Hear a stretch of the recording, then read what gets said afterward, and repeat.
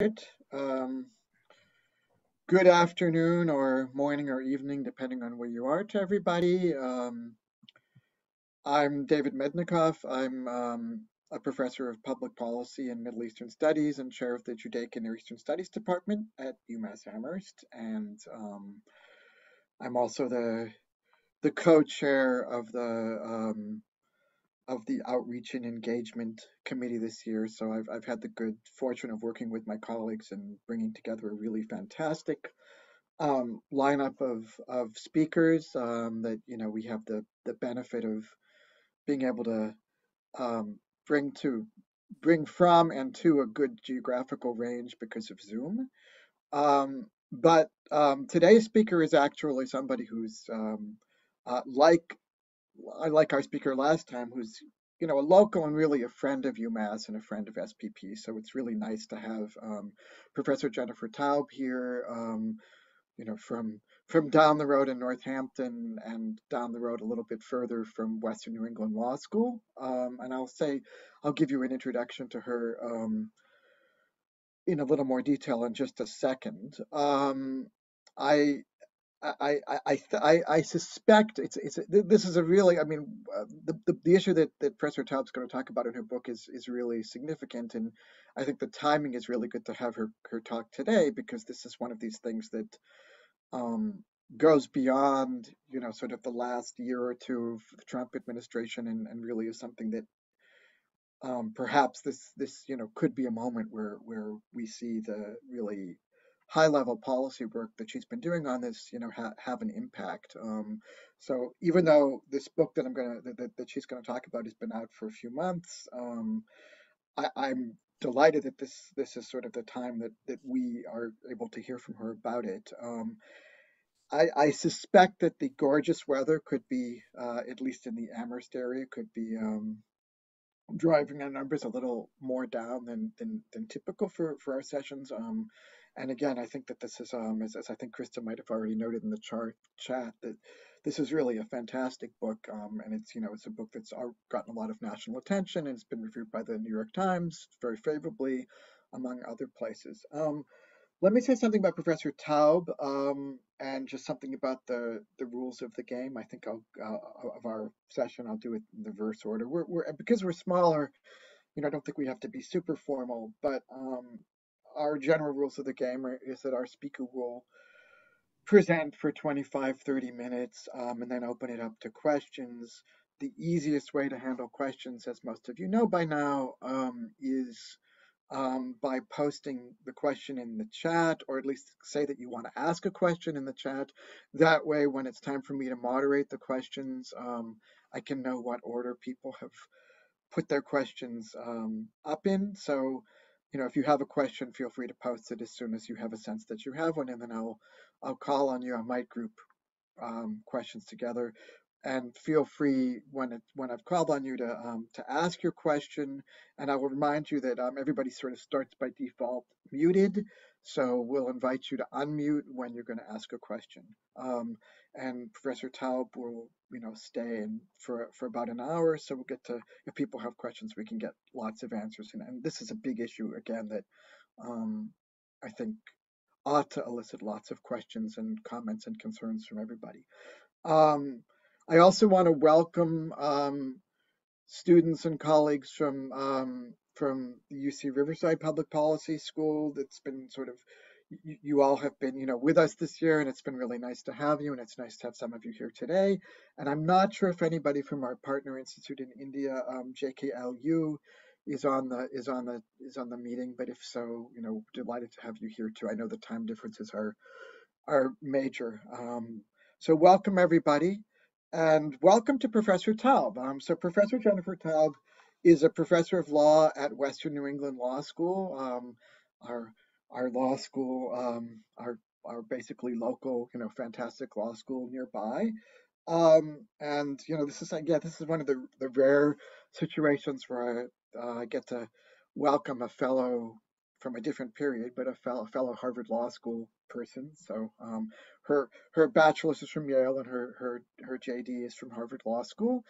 Um, I'm just going to give you a very brief bio. I put in the chat, which I hope is visible, a longer bio. I mean, it's really, she has done quite a lot. Uh, and I think, you know, like many really good policy and law scholars, she's not just done a lot of scholarship, she's done a lot of scholarship that's, you know, relevant and engaged and, and, and helpful to all of us. Um, she has devoted her career to making complex business law topics engaging inside and outside of the classroom.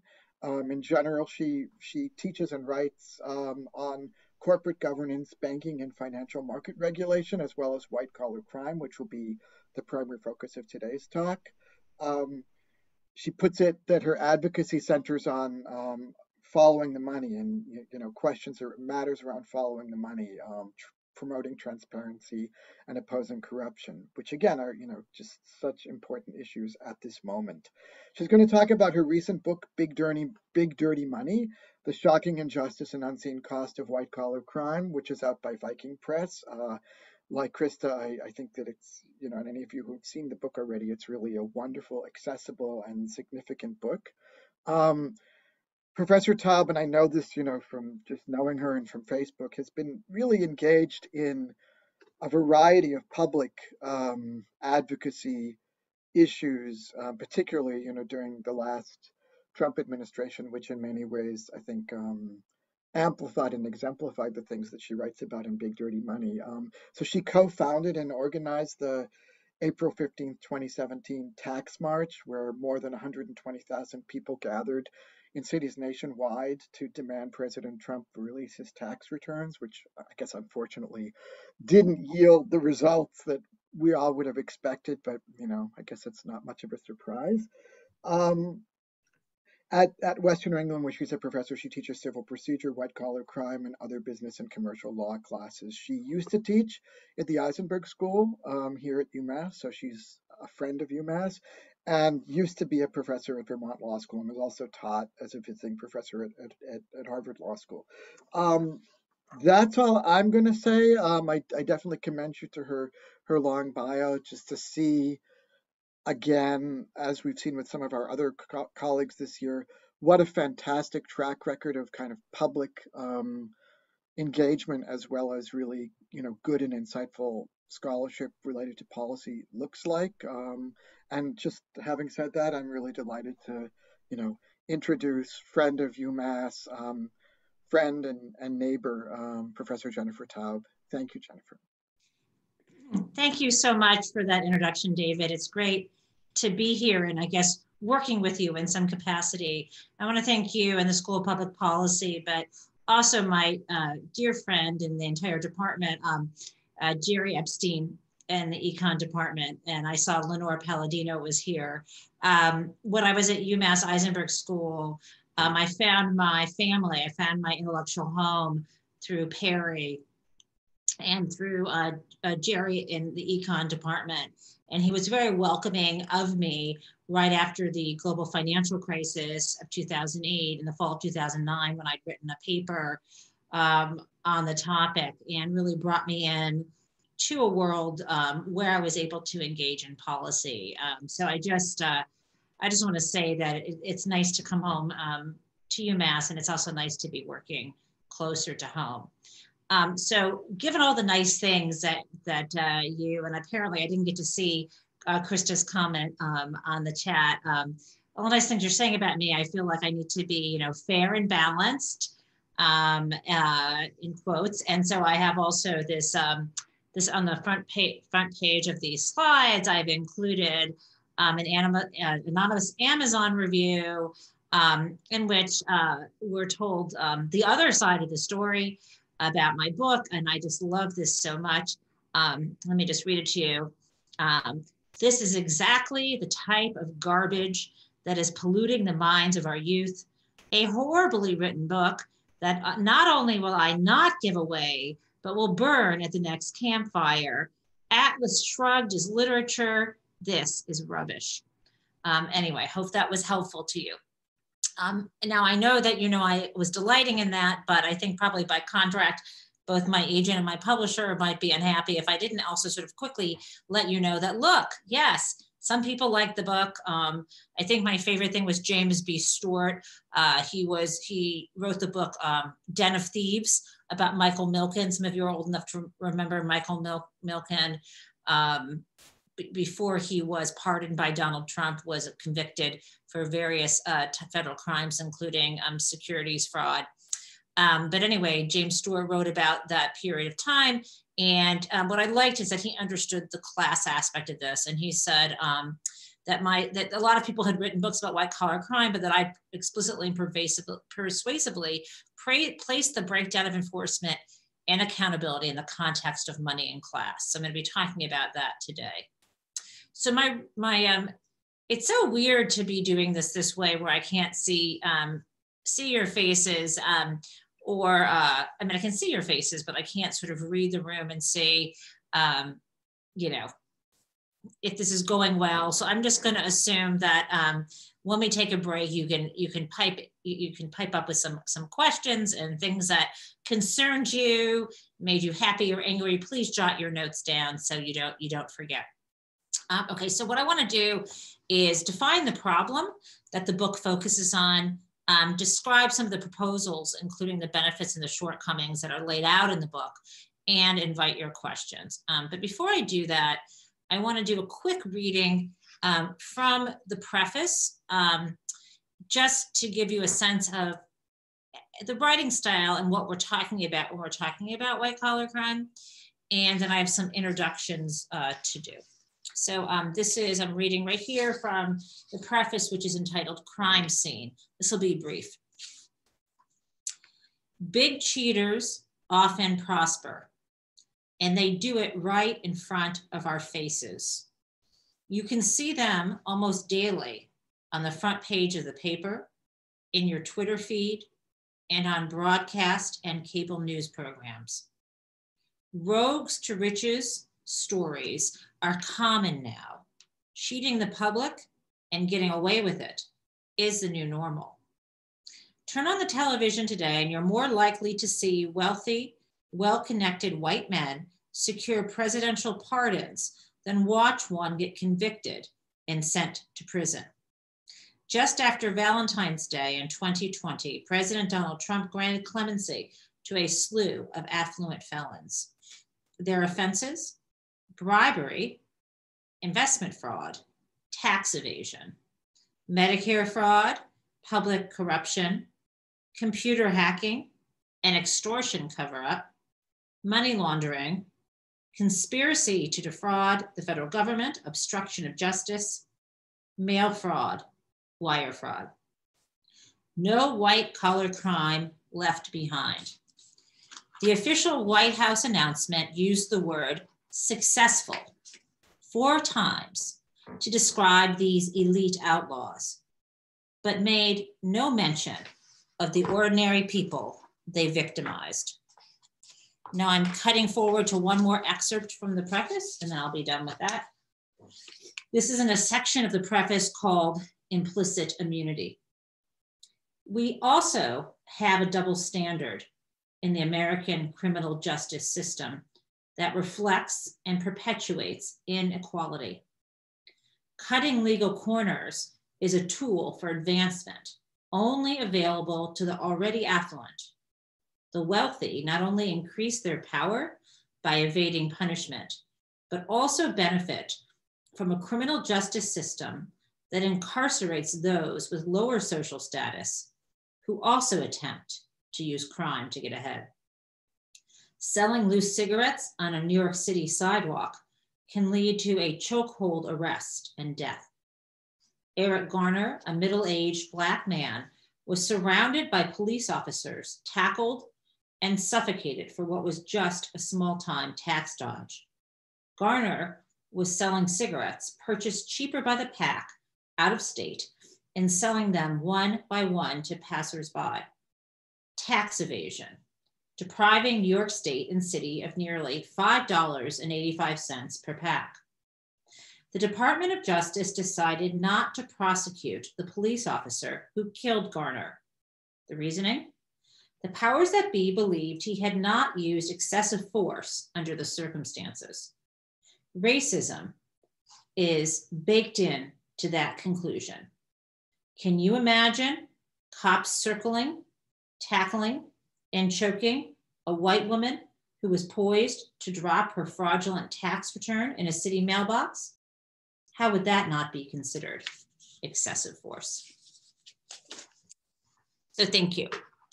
Okay, so because we can't go around this room, we don't have a room and do introductions, I'd like to do some alternative introductions, um, which will help eliminate uh, the argument the book is making. Here's one. This is Wells Fargo CEO John Stumpf. On his watch between 2009 and 2016, the bank opened more than 3.5 million bank accounts without authorization. This is something they admitted to later. They also repossessed cars because of unnecessary insurance when people couldn't pay those uh, premiums. Um, and the bank, along the way, retaliated against employees who resisted participating in this scheme. Um, he did not. Um, he did not uh, get prosecuted. Instead, um, he was asked to resign. He was essentially fired, um, but he got $134 million exit payment, and that's after um, any penalties the board imposed on him. Then in 2020, the main bank regulator for, um, for Wells Fargo, the Office of the Control of the Currency, um, fined him um, a small fine, some, you know, tens of millions of dollars. Doesn't really make much of a dent on that exit payment or his accumulation of wealth over the years. And they banned him um, from the industry. This is a 66 year old man who'd already retired. No criminal charges were ever brought against him.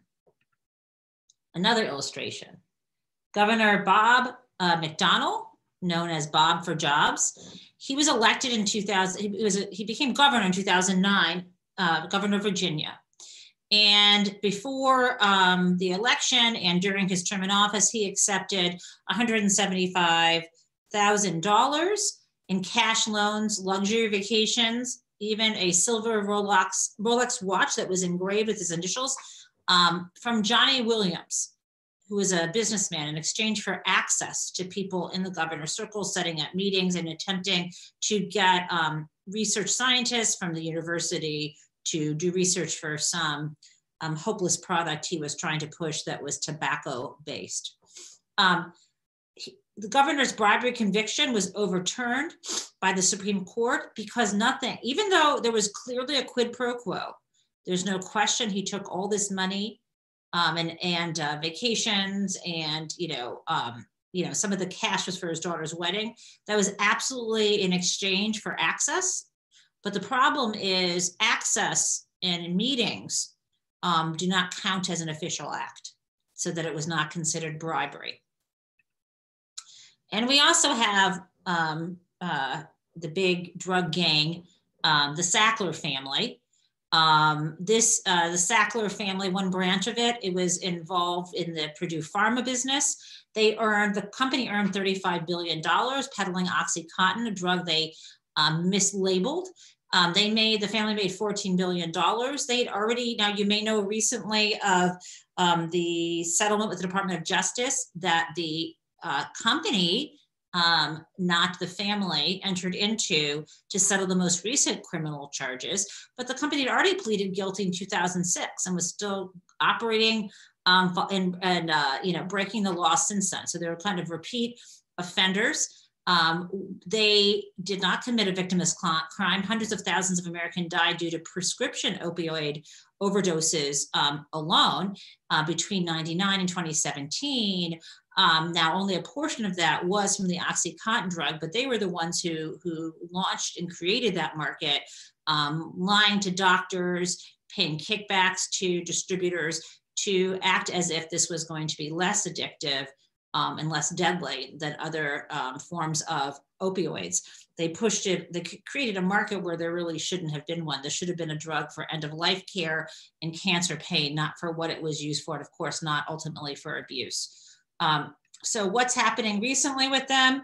Um, I only put this here and I can share my slides for folks who want it, but um, just the other day, um, they're trying to enter into this, this is on the right, a restructuring plan.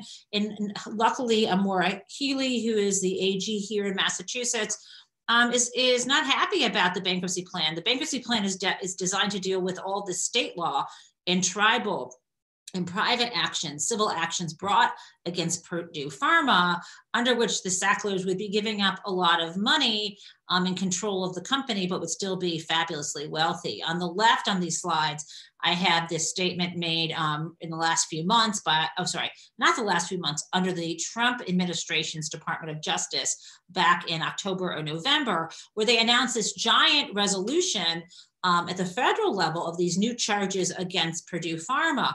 But what you'll notice, there's civil and criminal charges. But if you'll notice what, uh, this, this criminal plan, um, somehow the company is admitting guilt. But then the civil settlement has family members involved. Somehow these crimes get committed and people get really rich, um, but no one goes to jail. Okay, but sometimes people go to jail, um, and we can look at uh, Martin Shkreli, Pharma Bro, you may remember him. He did not go to prison for smirking and having a very punchable face, um, or even marking up um, the price of drugs. Instead, it was securities fraud. Um, and he, one thing he said, and I'm mindful of my time, David. I know I've got four minutes, um, but when he was um, when he was being um, before the guilty verdict, he sort of laughed and said, Big deal, I'll go to a club fed. He was right, he did, that's where people go. He claimed he could play basketball and tennis and Xbox for a couple months. He's wrong, there is no Xbox um, in federal prison, but there are other things. This is Otisville, it's where Michael Cohen went. He, Michael Cohen and others called a camp. This is literally one of the club feds. Um, when you go to the website, you can see the orientation memos the commissary lists, everything from Twizzlers to matzo balls and sunglasses. Um, sure, no one likes to lose their liberty, but this is not um, this is not where the bad boys um, that we see uh, committing street crimes go. Okay, so in brief, what I identify in the book is that we have an elite in corporate crime spree um, where there's a kind of implicit immunity for the white, wealthy, and well-connected. Um, we have limited enforcement resources um, put to use to target this kind of criminality. And the laws um, that have been enacted that are designed to get at it, one example I gave is the anti-bribery statutes have been weakened by Supreme Court decisions. We have victims remaining in the shadows um, and not being treated like true victims of these crimes and not given a voice. Um, the people who are most likely to uncover these crimes throughout history, corporate and, and, and, and crimes of the powerful individuals, are journalists who are under threat, not just physical threat, but financial threat, funding, their um, threats, and whistleblowers. There's a hodgepodge of whistleblower regimes that need to be fixed. We have the IRS that's underfunded, and we have inconsistent, unreliable data at the federal and state level. The solutions I make and suggest in the book is to create a new elite crime division within the Department of Justice that coordinates across the FBI and the US Attorney's Office to prioritize detecting, um, deterring, prosecuting, um, and enforcing further um, you know, crimes committed by the most powerful. Um, in the book, I'm very clear about my definition of white collar crime, wanting to return to something that um, Edwin Sutherland, who coined the term, um, wanted to be, which is focused more on status and on conduct. We can maybe talk about that in the Q&A. I want to create a white collar criminal offender database. Um, I want to empower whistleblowers and journalists. I have ideas about, about doing that, specifically expanding some of the whistleblower protection laws and giving broader standing to individuals to bring claims of fraud, even if they don't have individual standing. Um, and um, we need to better fund the IRS clearly um, and fund agencies um, better that can track these offenses. And so these slides really just go through. Um, and if you have questions, those are the plans. Um, one area before I close, I'm mostly interested in is, is this empowering of whistleblowers by expanding the False Claims Act. Um, and I, you know, I can talk more about that if people have questions. It's something that dates back to uh, the Civil War era. It's called Lincoln's Law or the Informer's Law. Um, it's been extremely uh, successful um, since it was expanded in 86 um, to allow to return the ability to pay bounties fees to whistleblowers. Um, the, the federal government has received more than $53 billion misappropriated by federal contractors. The trouble with this false claims law is it only applies to fraud committed by federal government contractors, their state law equivalents. And I have an idea of expanding that, and that's going to be a law journal article that I am working on now. Um, so my parting thoughts are to say um, that I'd like to um, imagine a world where the government had actually held the former guy accountable for the many offenses he committed over the many decades um, since he jumped into his father's um, uh, you know, real estate empire. And I firmly believe that um, if he had been held accountable, he would have spent time in a federal prison camp instead of the Oval Office. Um, I think we we have to uh, in expelling him and pursuing him criminally. That's only one piece of things. I think we need to think about a world where we don't um, allow um, allow the wealthy to gain wealth in power and sustain it through crime, um, or we're going to really be the kleptocracy that Trump, I believe, was setting us on the path to becoming. Your questions are welcome, and I'm going to I'm going to end my screen sharing now. Thank you. Are you still there, David?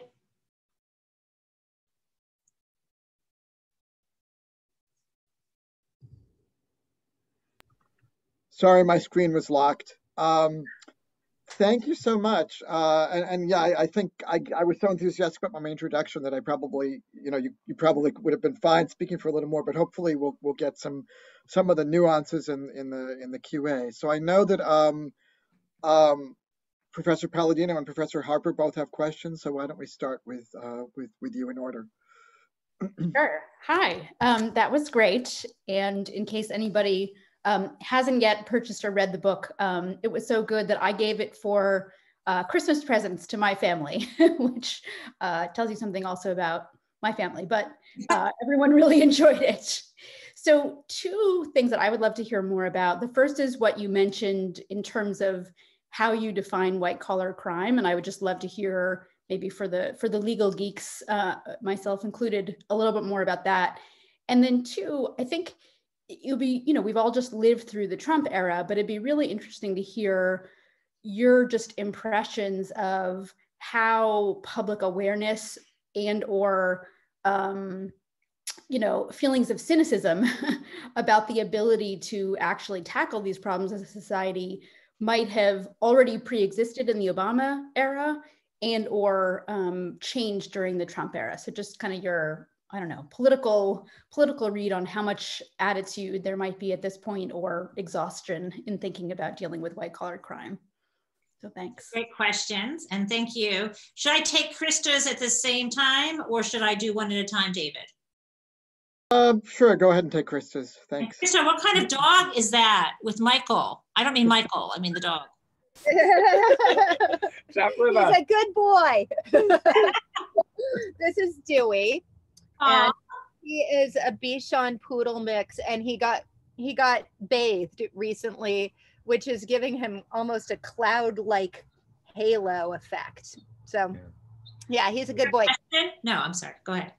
So my my question is, um, are there any are there any examples of countries that get it right or do this better than uh, the United States, because you can think of actually a lot of places where uh, the corruption cases uh, are so bad that they're famous, and we've heard about them over here. Um, but are there any places that actually successfully, you know, sort of enforce clean, um, you know, white collar or uh, or clean, you know, government official kind of uh, legislation? I love these questions. Okay, so let me start, and I'm going to be as concise as I can and mindful of the time. Um, and I, each time I'll let people know whether I've dealt with this in the book in more detail or whether I need to. So starting with Lenora's question, how do I define white collar? First question, how do I find white collar crime? Um, and also, why is that important? Um, and I like, I am borrowing, let me back up and say the term was coined in 1939 by a um, sociologist from Indiana University by the name of Edwin Sutherland. and he had been researching the, the topic of what he called white collar criminality for a decade by that time. He gave, he was the president, he was the outgoing president of the American Sociological Society. And they were having a joint annual meeting in Philadelphia with the American Economics Association. Um, and so that it's it was quite quite an interesting i mean to me an interesting meeting most people probably think it sounds really boring um, and he introduced this idea he was trying to challenge um, what criminologists and sociologists thought of as crime and not surprisingly um, and i don't think so much has differed in the way we frame it crime was things that were committed by mostly poor people in cities um, and they were um, crimes of violence or crimes of um, property crimes of theft, right? That's how crime was defined. And sociologists who were looking at crime to study it were specifically looking at something called the UCR, Uniform Crime Reports. And this UCR still exists. It's put out by the FBI, gathered from state and localities. But the UCR data, when it counts crime, it only looks at um, it, crime gets starts to be counted when law enforcement makes an arrest. Okay, so he had a problem with that definition, and he defined this term white collar criminal to try to get at what that left out, what the UCR data left out, and what also um, the, the, the, the way crime was defined. So he defined white collar criminals as people of high social status and respectability who commit crimes in the course of their occupation. That's almost, I'm almost saying it verbatim. So his definition leads with status, right? So to me, the way I look at it is, you know, it, you could say it's a Venn diagram, but you first have to look at people of um, respectability, um, and high social status who are committing some kind of crime in the course of their occupation, some kind of financial crime. That's how he defined it. But to be even more clear, he did not want to use, um, he did not define, he went for the purpose of sociological studies as opposed to who you put in prison. He wanted to look at white collar crime as including even regulatory, civil regulatory offenses or crime um, that's never prosecuted or individuals caught up in a crime that themselves didn't get convicted. So let me give you an example of that last piece. He made the point of saying that when people studied organized crime, mob behavior at the time, they talked about the mob as organized crime, even if the members of it weren't prosecuted. We do that even today, right? And they did that, and so sociologists did. But what he noticed was when it came to things like, um, or if, if someone was involving in a, in a kidnapping, you know, you would everyone who was involved in a kidnapping would probably be prosecuted and arrested, but you would consider them all part of this crime. But when it came to insurance fraud, often the people involved in the insurance fraud, not everybody involved was ever sort of prosecuted and he would still want to study that as a subject. So that was that was what what he was trying to do. Over the so that that was 1939 i told i'd be brief but i think this is, is super important here. It, 10 years later in 1949 he wrote a book called white collar crime. And that book even zeroed more narrowly in on corporate criminality. That entire book is only almost exclusively about corporate crime. But Sutherland died shortly after the book was published, which meant he did not get to this really important legacy. He did not get to flesh out. He did have some students who did, but the, what happened after he died is over the years, lawyers like me um, shifted from a status definition to a conduct definition because lawyers, our power, if we're not being legal theorists, lawyers, practicing lawyers, are interested in, right? Um, if you're a prosecutor, proving the elements of a crime beyond a reasonable doubt in order to put someone in prison or fine them.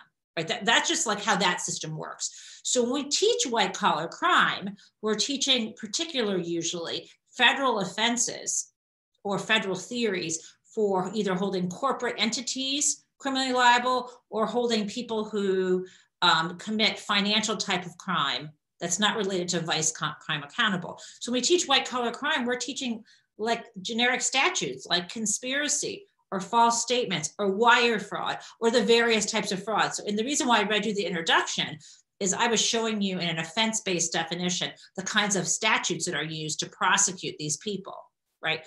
But part of my project is to redefine white collar crime to think of it as um, a tool used by the stat by the, the very wealthy to distort democracy and distort the use of our public resources. So that's in terms of definitions. In terms of did this just happen under Trump? Absolutely not. Hi, Jerry. Um, I was thanking you at the beginning. I don't know if you heard that. you're muted, but I know you're just saying you showed up late. That's fine. I showed up late because I couldn't get into the thing, but finally I got in. So sorry about that. That's all right. It's being taped. Don't worry, Jerry. You'll hear all the nice things back. Um, but yes, I think the failure to prosecute bankers after the um, financial crisis is critical, Lenore. And I write about that in this book. I think that Eric Holder um, really did break the cycle of the that we see over time with corporate crackdowns um, by you know by failing to do that. And you know, I kind of go into, or, or you know, you could say Lanny Breuer um, or you could actually put, you know, you could say Barack Obama himself, but I'm beginning to think of the Justice Department, you know, in terms of the rule of law as separate. And that really was Eric Holder's job you know, I don't see that as, you know, he had the power to do it. So did Lanny Breuer. and they didn't put the priorities there. And I, if you're, for those of us who are sort of into the, the nuances of that, I explain that in great detail, I think in the chapter called Corporate Crime Waves and Crackdowns. And I think if anyone wants to, I'm happy to send David, if you want to, you can send me an email. I'd be happy to send that particular chapter, or any of them around, because I think it explains where they fell down there. Um, okay, the next question Krista had asked about um, was do other countries do this better? Um, and it depends on what your what your goals are. I mean, I think the answer to that is not that I've seen, but there are different. If you look at the sort of buffet, you know, approach to this, there's some things, some other countries that I would like us to adopt. And one thing I think is very cool that happens in the UK is this thing called the um, an unex. I'm going to say the language wrong. It's called something like an unexplained assets order. So if, if you suddenly have this giant boat or mansion or something that looks like, or a hotel chain or something, it, the uh, the government can say, could you please show us um, where you got the financial, you know, where you got the resources, show us the cash flow that that that allowed you to purchase that which I think is a really kind of fantastic idea. I haven't explored that um, it in greater detail. The first time I heard about this was a student when I was when I was um, visiting at Harvard Law School in the fall of 2019 and teaching a class on white collar crime. One of the students was from Ireland and she told me about this. And I've only seen it mentioned once elsewhere. And so I feel like I need, and you know, this is the third time people have asked, I need to do that. Countries that I think, you know, get it wrong in the other direction is China. Like I'm not for capital punishment, even for Ponzi schemes, right? Um, does that sound? I, Michael Ash is like, well, uh, I don't know. No, but I'm not. I'm not. I'm not. You know, I, I, think that's not the way to handle things. I laugh, but it's it's it, you know, I'm not for capital punishment. Period. Which brings me to, you know, the other other areas. If you're really interested in this in the international sense, one of my favorite new books on this topic is called Kleptopia um, by. Um, is it Burgess? Is his last name? He's in the UK. It's a very it's kind of a winding narrative, but I've learned a lot about global kleptocracies enough to know that my one of my big concerns is the way in which um, corruption law is is used um, as a tool by people like Putin or Trump or others. You know, I could I can mention a bunch of Eastern European bloc countries, and the, there's sort of that it's that you if you let your um, if you let the oligarchy become a kleptocracy, then you can control them, take your cut, and if they turn against you politically, prosecute them. And that's the side danger of the system we're talking about. Like I was talking about more as a tool to get ahead in corrupt democracy, but as as this book came out, I became increasingly more aware about it as a way to, you know, is to further um, further um, you know, totalitarian regimes who can maintain power by allowing, you know, the sort of class beneath you to to do this. So.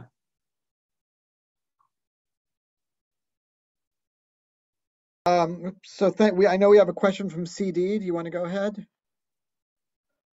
Sure. So I apologize. and actually finish that off. But I'm actually curious because you're bringing up Donald Trump, and we know that he's been tied to the Jeffrey Epstein. And we know that as Ghislaine Maxwell comes up to trial, that we're going to potentially see some further names come out on this. And I'm wondering how some of the white collar crimes have been and can potentially be associated to some of these new regulation and policy proposals. Um, because if this if this case is going to tell us anything, it's definitely going to be about how financial wealthy white collar um, have been highly connected to illegal money laundering uh, opportunity. I'm so glad you you asked that. I the chapter I have that's called um I've got to look at my own index. The chapter I have that's called Mutually Assured Immunity for the Upper Class talks about the interconnection um, between um, that kind of predatory behavior.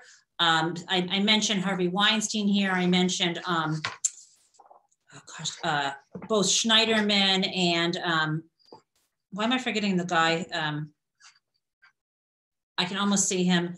Um, who was the who, who, was visiting prostitutes in New York? Why am I forgetting him before Schneiderman? Spitzer. Spitzer, thank you. There's so many of them. Yes. Well, this is, so this is the problem, and it's the same damn thing with Cuomo. People who are like, "Oh, well, we can't get we can't get rid of Cuomo," and it's not the same thing. Cuomo is not the same degree as what we're talking about with Epstein, but it's all kind of the same thing, which is was like, "Oh, we can't get rid of Cuomo because that that that will make us, you know, more vulnerable to bad actors like Republicans, like you know, because they never get rid of their bad guys." And the trouble is engaging in um, criminal behavior of the, of the non-financial type that is sort of that is covered up for by others makes you vulnerable not just to blackmail but to this kind of thing which is um, what i call this um, mutually assured immunity where you know you look at someone like schneiderman who was the um, attorney general of new york and you have to wonder why it was just a civil RICO case brought against Trump for Trump University. You know, Trump obviously had the goods on Schneiderman because there were all those like we know now, right? So you just cannot. Um, there's that aspect where I believe there's a lot of mo- there's a lot of um, you can monetize implicitly um, that abusive conduct. And the other piece of what you're asking is when it when you do you know when you do have damning um, information about people that could hurt them, then there is a price. And we, we do wonder where, you know, Epstein, why he made so much money managing money, you know, might have been good at math, but a lot of people are good at math, right?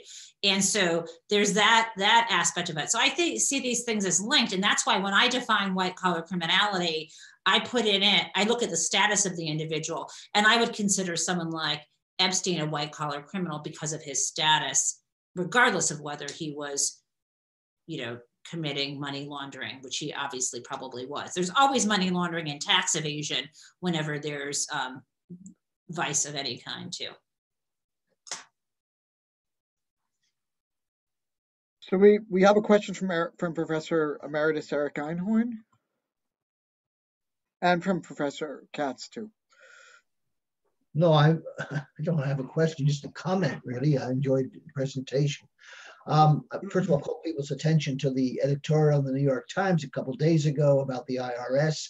Uh, there have been some follow-ups, on, on, you know, also about how the tax system can be made more um, easier. But of course, it would cost uh, HR Block and TurboTax a lot of money. So you get these kind of issues that are gray areas and probably not illegal, but but are gray areas anyway, and the other question is uh, is um, just thinking more generally. Uh, we do know that there are different rates of crime in different countries uh, that we have reasonable statistics on. Is it reasonable to assume that white collar crime is lower in uh, more more let's say low crime countries versus high crime countries? So comparing um, countries I know like Denmark and Sweden, which have actually had some spectacular uh, white collar crimes, but that you can count them on, on, on one, maybe one hand and a finger or something like that, um, relative to population. So is white collar crime. I mean, America has been called a country of criminals by by uh, let's say critics, and uh, just part of the same business. Why we have more murders, more you know, rapes, more et cetera, et cetera. You know, Eric. So the thing is that the most the most frustrating thing about studying this topic isn't just that there's not a shared definition among lawyers or even among sociologists or even across the government is that there's no way to actually count and really know right? Because we can talk about the factual commission of certain crimes, even if they're not detected, which we can never measure. But we, there's there's no way for me to know. Even even the statistics the Department of Justice provides to the U.S. Attorney's offices are inconsistent from year to year. And what they they're going to count someone who's a welfare fraud in the same bucket as they're going to count someone who engaged in insider trading. It's it's impossible for me to really know. So we can do the anecdotal stuff, right? and I, you know, I think it's reasonable to say that, you know, if there aren't as many corporations that are, there aren't going to be, there's not going to be as much corporate crime. But beyond that, you know, it's hard for me. It's hard for me to know. I, I do think though, uh, so I don't know the answer, but I want to go back to your question, um, your comment about the uh, New York Times editorial board opinion, which I did read. And for folks that, that aren't aware of this, it, it's very good because um, it, it talks about something I talk about in the book, but goes beyond it. I have a chapter called Tax and Punish, and I talk a lot about the tax gap. I think it's like 600 to 800 billion dollars a year of money that doesn't get collected. Um, and a lot of the, the data that they didn't, they don't use footnotes. I did that. A lot of that comes from ProPublica's reporting on this topic. Jesse Eisinger and Paul Kiel did that reporting. But what, what, you know, the way you know all of us think that you've got to staff up at the irs it's been it's been gutted in order to get this you need to prioritize going after big clients with offshore accounts instead of the low hanging fruit and all this stuff but what what they added here was a suggestion which i think is brilliant mm. is to require banks to report on their on inflows and outflows to bank accounts so for all, all of you here who get paychecks know we have withholding You've seen that, right? And you, anyone here who's gotten um, paid on the side, you get 1099s, right? From have you anyone here gotten this? Right. Well, you don't. And if you have an investment account that, if you happen to be lucky enough to have money that's not protected by a retirement account, and you have capital gains, that gets reported also. But money going in and out of a bank account um, is not automatically reported. So there's this idea that that could happen, and you know, there. But then the the Times admits that you need more people, the IRS, to deal with this. As for the whole thing with H&R Block, the reason why there should be free tax filing for people, and the reason why there isn't is because of Richie Neal, right? People like that. But yeah, I don't, you know, I would run for Congress if I lived in Springfield, but I don't. So can't solve that problem. So I, we have two more questions in the chat. So I, I guess I propose that um, professors um, Katz and Curtis just pose their questions and then you know you deal with them because I guess we're at the winding down point. But this is thank you. This has been very helpful. David, you're keeping the trains running on time, but what's the exact stop actual stop point? Because I will stop before that, but yeah, I think you know we could probably go as late as 120, but um, okay. Hi, Professor Taub. Thank you so much for taking the time to present about your book. This was awesome is awesome. Um, this is perhaps, if, if you don't think this question is relevant, we can skip it. But I was reading Robert Caro's The Power Broker a few years back, which is about Robert Moses. Um, not the same topic, but I'm so struck in Caro's writing about the patterns of criminality that have been in New York City in particular for a really long time. We just witnessed Trump, who is so connected in New York, and a lot of his crime activity presumably was, you know, nurtured there.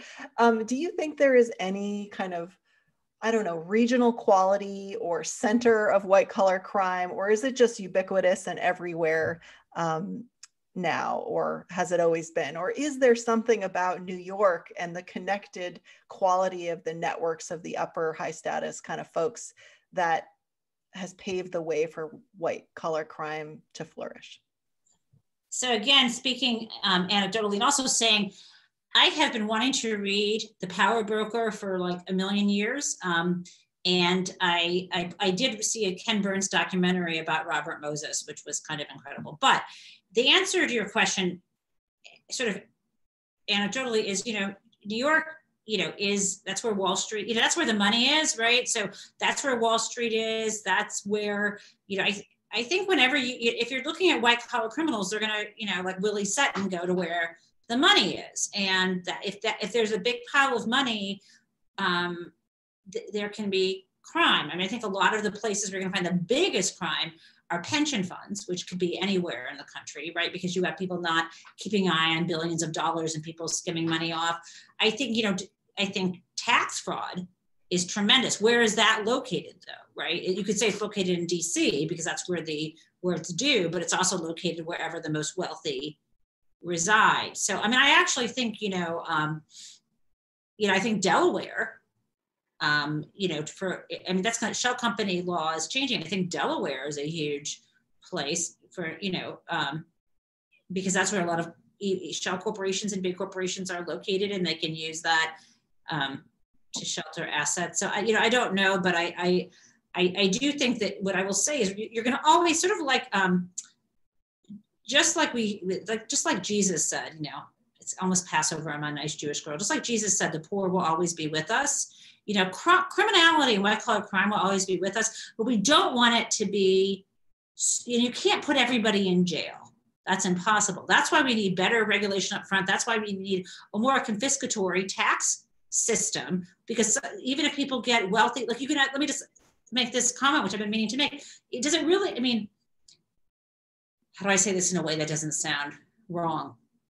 Elon musk and um, jeff bezos we saw this the you know have more wealth than the lower 40% of the country.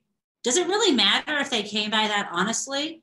How is that any worse than the many people who um, you know of course, the rule of law matters, but in terms of the effect on our democracy, having that much inequality in and of itself is a problem. So I believe our existing tax structure is creating a kind of criminogenic system. It's impossible to have a democracy with that much inequality. And so the tax structure, as well as the not, you know, defunding the police, we've defunded the police when it comes to tax enforcement. And I see all this sort of in one thing. So I guess Professor Katz, um, that's the answer to the question, which is yes, to the extent that's where the money is, that's where the crime will be. So we have one more question from Professor Curtis, um, apropos to kind of decoupling, um, what kinds of things have to be regulated to address this. So please go ahead. Yeah, forgive me for not turning on my video. Um, but won't, Diane, I won't forgive you, but you can say those words. you can just imagine me on a boat right now. It'll be it'll make us all happier. Um, the uh, so the other place where the money is is politics, right? So how you know I want to see change. I want you to give me hope that we can regulate white collar crime better, but I'm very skeptical so long as we're not reforming campaign finance um, in some very you know strong way. So can you address that a little bit about how those work hand in Why hand? always end with a Citizens United question, Diane. yeah, I mean, so there's, you know, I, I but I, I, I've set you up for this a little bit, which is, yeah, I think we've got to deal with Citizens United. I think we have to deal with unlimited corporate spending, you know, it's so-called independent spending on elections. But then I'm also going to put Jeff Bezos and Elon Musk there and say they're not corporations, they're people, and we have to deal with that as well. So there's a lot I think we need. To, I think we absolutely have to. I mean, there's a chapter on public corruption, but there's also a real need to um, reform there. What I want to ask you to do, I know you're super busy, but maybe I'm going to invite you to, or I'll have maybe we'll Zoom chat about the uh, the organization I'm on the board of called Free Speech for People, which is trying to work on those issues. Great. Um, so I I think um, you know, it's a beautiful day. Uh, maybe it's a good, it's a good, hopeful way to end it. I, I, I, certainly have lots more things that I'd love to ask and engage you in, and I'm sure that everybody else does here as well. Um, so we're grateful that you're local and you're available, and that your book is there, and that you know oh, those of us who haven't seen it. The paperback is coming out in. June, you guys. Excellent. And we'll have a white so um, smaller. Nice. So um, yeah, I want to thank everybody for being here, and and Professor Taub, I really am very grateful that you know you've done you've done you've done another excellent um, very engaged policy talk in this series. Um, uh, Marcy or um, Mo, when is our, our next one? Is the end of April? Is that correct? Um, Yes, um, April 26th um, at noon with Nikki Sheets.